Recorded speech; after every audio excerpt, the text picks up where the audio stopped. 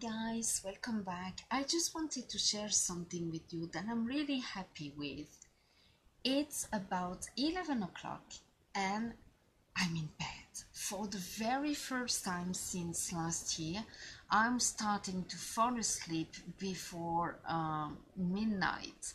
So it's pretty, pretty good. Last night it was about 2 o'clock in the morning and I remember three months ago, it, I fell asleep at six o'clock in the morning, which is really, really bad for my health, for my heart, for my everything.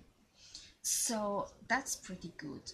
I just wanted to say that body uh, did regularize my appetite too. I didn't feel the need to have biscuits with my coffee and I only ate half a pizza for my lunch and the other half for my dinner, which is quite new for me too, because I used to eat a entire pizza in just one meal.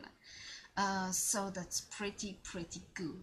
Well i had a very good day today. Uh, just to finish my day i started my soul solution. And uh, well guys if you don't like turmeric you won't like this because it's a strong taste of turmeric. But it's good for the liver it's good for the stomach and i guess i'm going to